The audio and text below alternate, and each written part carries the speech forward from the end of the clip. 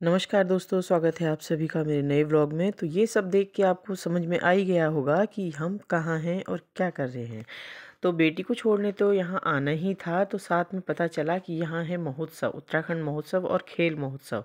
तो हम पहुँच गए यहाँ परेड ग्राउंड चलिए आपको भी घुमाते हैं। मेरी फेवरेट बटर स्कॉच वो टेस्ट करो कैसी हो रही है? कितने का भैया? ये फ़ोन वाले ही और कोई दूसरा नहीं है? हैं? वो केसर वही वो कॉर्नर वाला।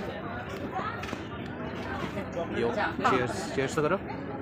चीयर्स ना तीनों की करेंगे लो नाउ यस मेरा तो हो गया चीयर्स ऐसे नहीं करते चीयर्स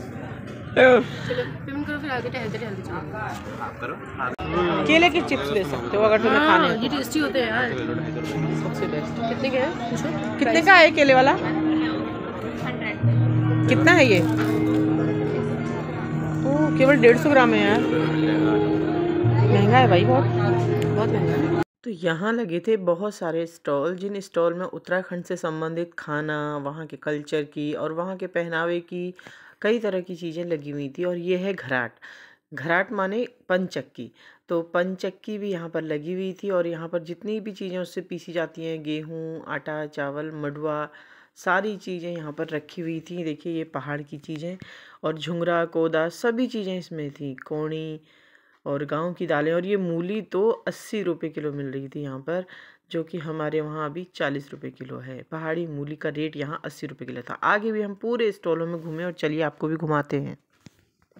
तो यहाँ पर बहुत सुंदर सुंदर चीज़ें लगी हुई थी। लेने का बहुत मन था लेकिन बहुत महँगा था भाई बहुत महँगा। अदरक यहाँ पर अ, हमारे वहाँ तीस रुपये का पाव है और यहाँ तीस रुपये का एक टुकड़ा मिल रहा था सिर्फ़ एक टुकड़ा। तमाम स्टॉलों में यहाँ पर दालें लगी हुई थी। दाल मोट की रैंस की और गहत भट बहुत सारी दालें और यहाँ पर देखिए सो पीस लगे हुए थे, बहुत सुंदर सुंदर यहाँ से आंचल ने भी एक कप लिया क्योंकि आंचल जो अपने लिए कप ले गई थी, वो कप वो घर ही भूल गई थी, इसलिए यहाँ से आंचल को दिलाया एक कप। तो सुंदर सा एक मग लेके आंचल और मैं आगे चल दिए स्टॉल की तरफ़। यहाँ बहुत सारे खेल भी हो रहे हैं, जैसे कि बताया खेल महाकुंभ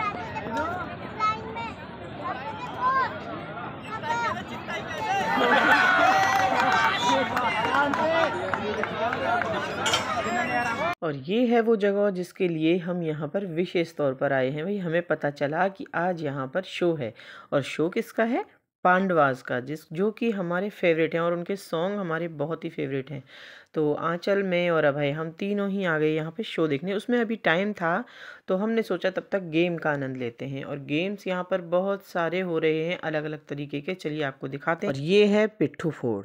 इसको एक साथ पिट्ठुओं को लगाया जाता है और गेंद से इसको मारा जाता है। उसके बाद जैसे ही ये टूटता है, फिर भागते हैं और उसके बाद जो टीम होती है, एक टीम उसको लगाती है, दूसरी टीम दौड़ के उनको मारने की कोशिश करती है।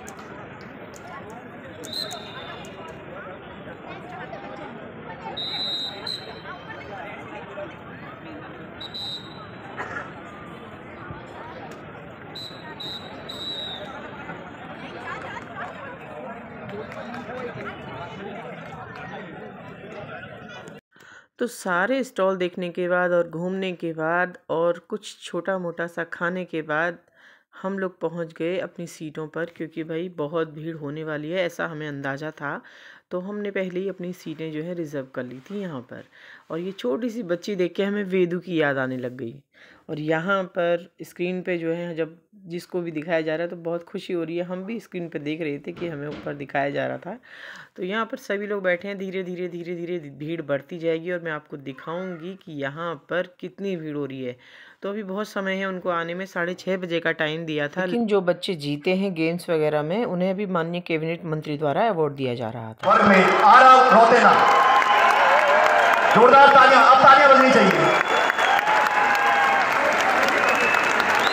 ब्रॉन्ज ब्रॉन्ज मेडल दिया जा रहा है और अगले खिलाड़ी नैवेद्य नेगी। नैवेद्य नेगी ये कैटेगरी थी 9 से 11 इस ग्रुप और आप देख रहे हैं कि नन्हे मुन्ने बच्चे हैं जो खेल के क्षेत्र में अपने को स्थापित करना चाहते हैं और खेल विभाग भी इनका साथ दे रहा है।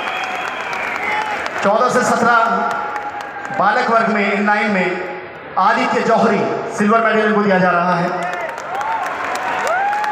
आदित्य जौहरी कैटेगरी 14 से 17 गर्ल्स कैटेगरी में। मीमांशा नेगी गोल्ड मेडल इन्हें दिया जा रहा है मीमांशा को।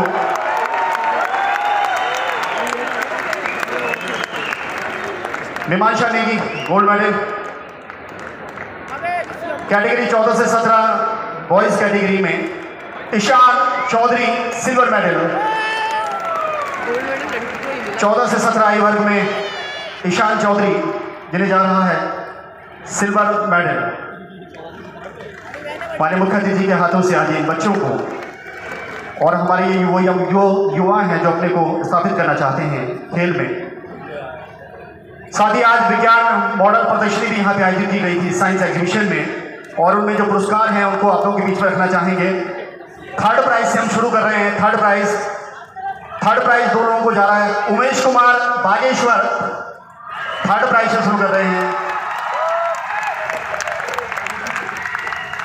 बागेश्वर के उमेश कुमार तृतीय पुरस्कार विज्ञान मॉडल प्रदर्शनी में। चांदनी बिस्ट बागेश्वर से ही इनको भी तीसरा पुरस्कार संयुक्त रूप से दिया जा रहा है।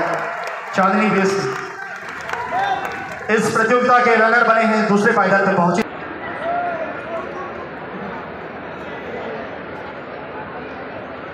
मान्य मुख्य अतिथि जी इन बच्चों को पुरस्कृत करते हुए। नवनीत काटपाल दूसरा पुरस्कार नवनीत काटपाल विज्ञान मॉडल प्रतियोगिता बागेश्वर जनपद से ही नवनीत कांडपाल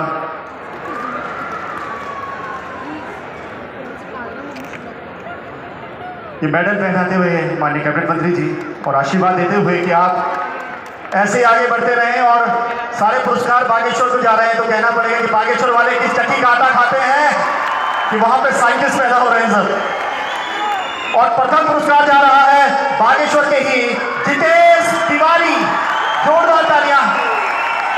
ये सारे पुरस्कार बागेश्वर को चले गए हैं। और इस राज्य युवा महोत्सव की थीम भी है स्पोर्ट साइंस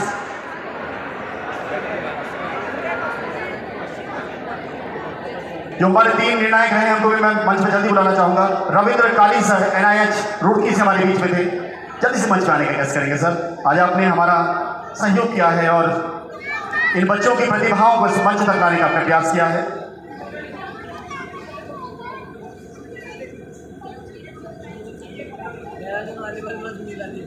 विज्ञान मॉडल प्रतियोगिता के जो सफल प्रतिभागी हैं, उनके साथ एक ग्रुप फ़ोटो, साथ में twenty fourth Uttarakhand state roller skating championship के विजेताओं उत्तराखंड महोत्सव की इन झलकियों के साथ ही आज का व्लॉग यहीं पर समाप्त करती हूँ। अगर आपको मेरा वीडियो पसंद आया हो तो प्लीज़ चैनल को लाइक शेयर और सब्सक्राइब ज़रूर करिएगा और पांडवाज का लाइव शो देखने के लिए बने रहिएगा मेरे नेक्स्ट व्लॉग में। तो आज के लिए बस इतना ही। मिलती हूँ आपसे अपने अगले व्लॉग में। तब तक के लिए स्वस्थ रहिए, व्यस्त रहिए, मस्त रहिए। Good bye